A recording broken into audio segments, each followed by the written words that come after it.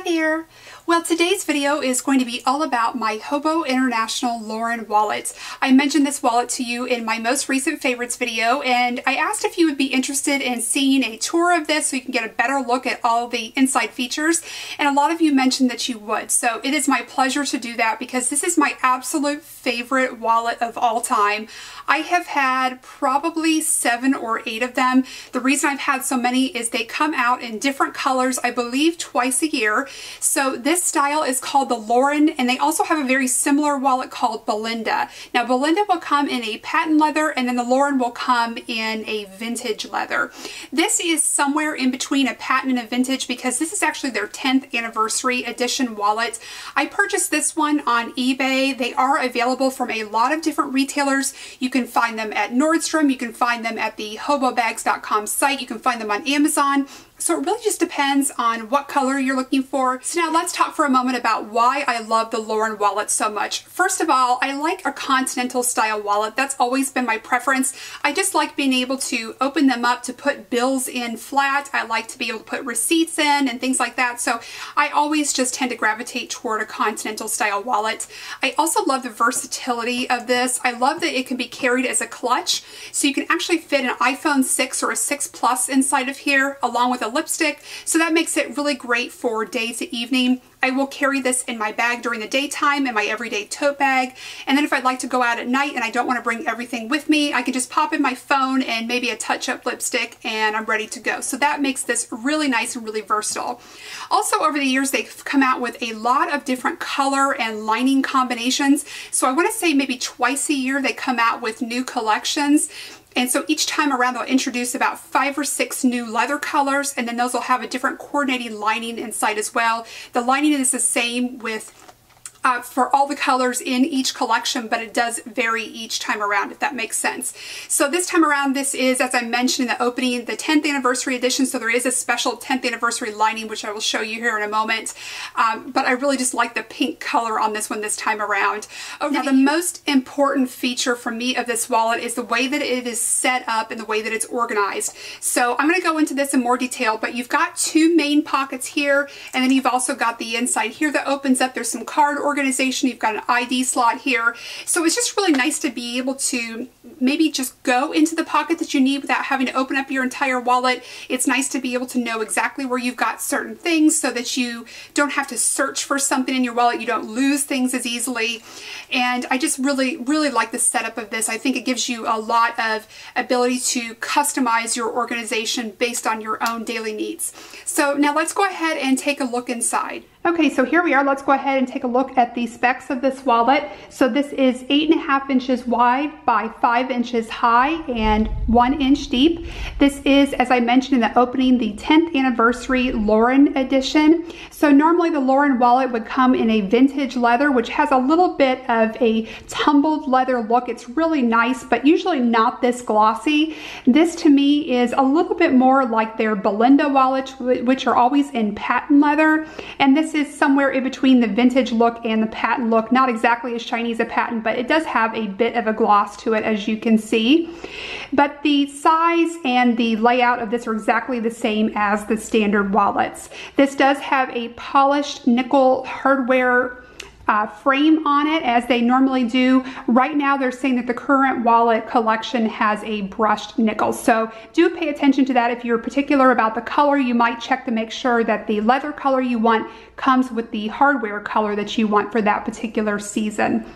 All right, so let's start by talking about some of the features. I'm gonna open this up first and we'll take a look at what is on the inside. So this does have two magnetic closures, so the wallet will just easily pop together like this, and then you can open it up. There are three credit card slots here. There's also many more in here, so this is not all that you're getting, but I like to put my most used cards here, so like a debit card and my most used credit card, so those are easy to get to. And then down here is an ID slot. It's got a clear preview window so that you don't actually have to take this out if you need to show it to a clerk when you're checking out.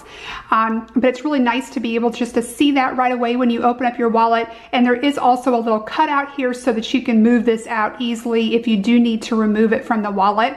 And then this is one of those sort of little hidden uh, spaces that I really like about this wallet. It's kind of a nice little place to keep things, maybe things that you don't need to get to all the time. But this zips open. These zippers are very sturdy. This is very well made. And the pocket here actually goes down the whole, nearly the whole length and width of the wallet. And as you can see, it is completely lined as well with the 10th anniversary edition lining. I really like this. This is a neat place to put receipts, maybe things that you need to keep for business receipts. Again, something that you don't necessarily need to get to all the time, but it is a great extra space. You can't put anything too thick in there or you wouldn't be able to fold it back closed, but for some, a few little bits of paper and things like that, it's a really good spot. Also, if you want to keep a little bit of extra cash just for an emergency, that would be a great place to do that as well and you wouldn't have to worry about anything falling out. So let me zip this back closed. Now let's go ahead and take a look at this first pocket here on the front. This is probably the area that I get into most in this wallet. So the clasps here are just a push open and then a pop close.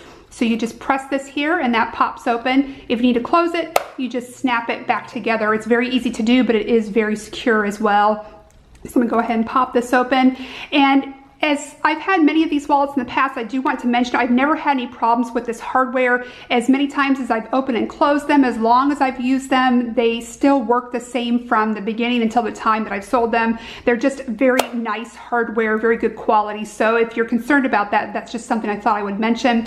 Okay, so going inside of here, you can see that this is fully lined as well. This is where I always like to keep my cash. It's just a really easy place on the front so I can get to that quickly. So you're able to put paper money here, your bills, you can lay them flat so you can see everything. And then there's also a zippered pocket along here. This is where I like to keep change.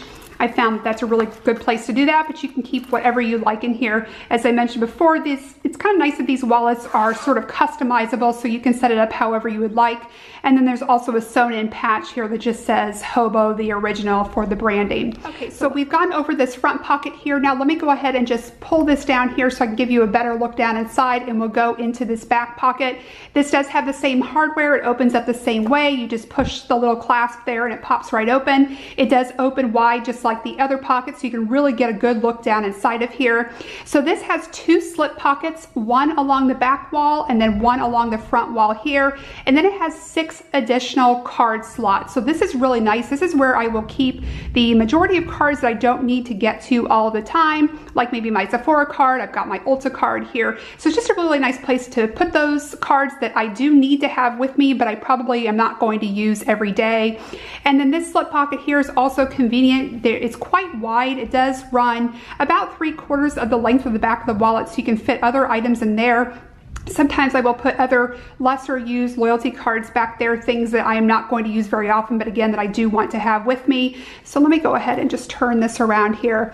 And then as you can see, I've got all of these cards back here. These slots are also pretty secure, so it is easy to pull your card out, but it also does keep them safe. I'm not worried about these coming sliding out.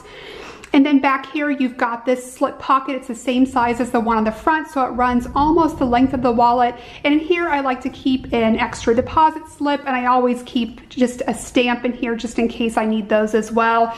But again, very versatile. You can really set this wallet up any way you'd like. So if you prefer to keep your cash down in here, you could do that as well. Or if you'd like to keep it in this area. But I just really find for me that I really enjoy having the cash in this front section and then keeping things I don't use quite as often back here. And then again, the everyday cards and ID and things in this area. Now I also mentioned to you in the beginning that you could use this not only as a wallet, but as a clutch as well. So I wanted to show you a little bit more about that because I know that is something that interests people quite a bit about this wallet.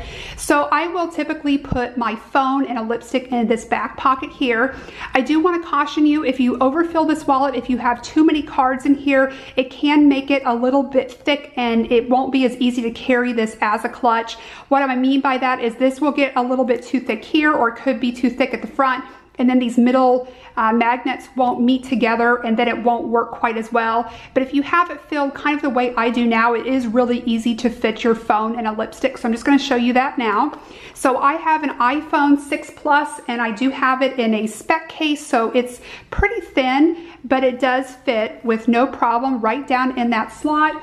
And then you can fit a lipstick tube as well. This is just a standard MAC lipstick and I will just pop that right down there in the side. I have the phone and my lipstick down in there that fits very easily and then still snaps together with no trouble. Where you can run into problems is if you have a phone and say a lipstick in this back pocket and then you try to put something bulky in here in the front as well, that's when the wallet will tend to be overfilled and then these magnets won't want to meet in the middle.